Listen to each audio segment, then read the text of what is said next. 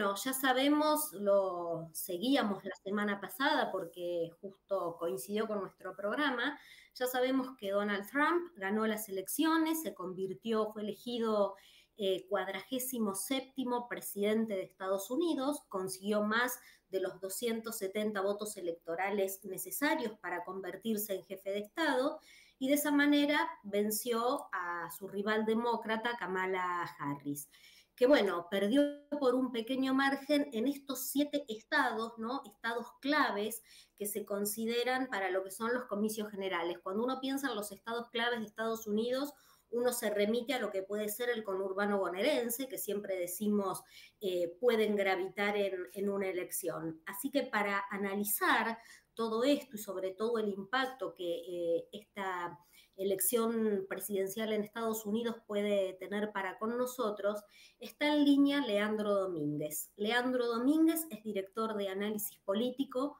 para América Latina de Directorio Legislativo, donde investiga e informa sobre las tendencias de los poderes ejecutivos y legislativos de la región.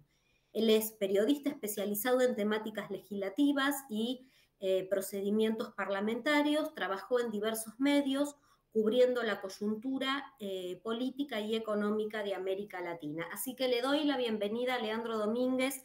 Buenas tardes, Leandro. Guillermina Rizo te saluda. ¿Qué tal, Guillermina? Buenas tardes, ¿cómo estás?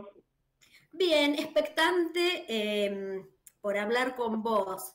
Em, uno la semana pasada estaba siguiendo ¿no? estas elecciones y mm, al menos los medios acá en Argentina hablaban de que era una elección muy reñida, de que esto era voto a voto. Lo cierto es que cuando estuvieron los resultados eh, nos impactamos. ¿Podemos decir que allá fallaron las encuestas? Puede ser, es posible esa interpretación. La verdad que las mediciones que nosotros observamos desde acá coinciden con esa lectura. Eh, se esperaba una elección mucho más cerrada y Trump finalmente se impuso tanto en el voto popular como en el voto electoral finalmente y además con más diferencia de la que se esperaba. Se esperaba que una elección más parecida a la que tuvo frente a Hillary Clinton en 2016. No logró esa, las encuestas no lograron visualizar la diferencia que finalmente pasó. No hubo una merma muy marcada en la participación, la participación electoral, que acá es un factor muy determinante en Argentina. En el caso de Estados Unidos no es tan determinante va a tocarse una, una votación primero opcional y segundo indirecta. No fue tan, tan determinante eso, así que las encuestas, las encuestadoras, como en todos lados, eh, a veces aciertan y a veces eh, no sorprenden, muchas veces. Qué terrible tener que decir, ¿no? Las encuestadoras a veces aciertan, porque se supone que detrás de todo ese proceso bueno, hay ciencias como la estadística, como la, probabilidad, como el análisis cualitativo de datos, pero bueno, evidentemente eh, este es un fenómeno a nivel mundial que, que se está viendo. Yendo un poco a los datos de la elección, uno dice, bueno, a ver, ¿quiénes se volcaron hacia Donald Trump? Y vemos que tuvo apoyo entre los latinos, entre los jóvenes, que Kamala Harris atrajo un voto femenino. Y digo yo, la perlita es que eh, este presidente es el primer presidente condenado por un delito. Cuando uno hace esta radiografía del voto y de este proceso electoral, ¿podemos decir que hay una similitud con las derechas como pasó en, en Argentina y como ha pasado en el resto de América Latina? Sí, es probable. Pasa que también en este caso la elección es importante, lo mismo que pasa en cualquier país, verla en caso por caso. Acá, para empezar con algunos datos, si se quiere, números sobre qué es lo que deja la, la presidencia de Biden, en principio. Un 2,2% promedio de crecimiento de anual, una inflación que si bien arrancó mucho más alta de la serie de la pandemia, terminó este año en un promedio de 2,5 interanual, datos que probablemente Argentina sean sean deseables, si se quiere. Hoy hablamos del 2,7 del INDEC. Una, una pobreza estable, finalmente bajó más o menos del 11,5% cuando arrancó la presidencia y terminó el 11,1%. O sea, se logró reducir, pero es una reducción, una reducción menor. Y el principal factor tiene que ver con la inflación en este caso. Que si bien tenemos una inflación menor al 3% este año, empieza la presidencia de Biden con una escalada fruto de la pandemia de una inflación alrededor del 10%. La inflación fue bajando, pero los precios quedaron acomodados en, en ese volumen y no se vio una continuidad, como pasa acá en Argentina, con paritarias por ahí un poco más flexibles, un aumento del salario real promedio en, Estados Unidos que se quedó alrededor de los 110 mil dólares anuales. Entonces, eso es lo que explica principalmente la derrota de Biden, de Kamala en este caso, pero la derrota del Partido Demócrata. Y también otras cosas, sí. No, no, adelante, adelante, Leandro. No, quizás también otras cosas que tenemos que ver de cara a la eventual presidencia de Trump para el año que viene, tiene que ver también con el respaldo del voto popular que obtuvo Trump. Si bien Trump obtuvo aproximadamente la misma cantidad de votos que obtuvo en 2020, el año en el que perdió contra Biden, obtuvo más votos que en 2016 cuando fue electo. En 2016 obtuvo alrededor de 63 millones de votos, en 2020 74 y este año 75 millones de votos. Y la nota pasa por el Partido Demócrata, que perdió un caudal relevante de votos en esta elección. En 2020, cuando se impuso Biden frente a Trump, habían tenido 81 millones de votos y en esta ocasión bajaron 10 millones de votos, llegando a 71. Entonces, quizás esta sea una de las primeras cosas que tenemos que empezar a pensar para ver cómo va a ser la eventual presidencia de Trump para Estados Unidos y después también, obviamente, cómo se replica en América Latina y en Argentina principalmente. Eh, un poco en base a estos datos que vos estás dando, que bueno, que te, interrumpí, em, mm. iba la, pregunta, porque convengamos que eh, el Partido Demócrata perdió votos respecto de elecciones anteriores.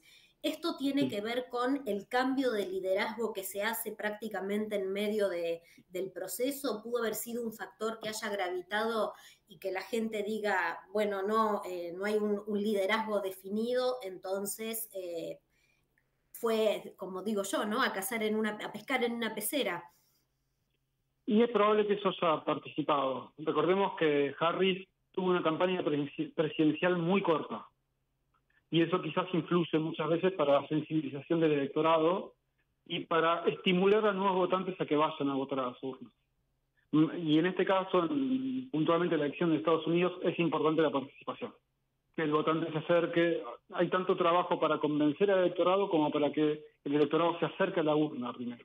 Claro. Y probablemente una campaña corta haya jugado en contra para eso, con el desgaste odio que tuvo la, la gestión de Biden.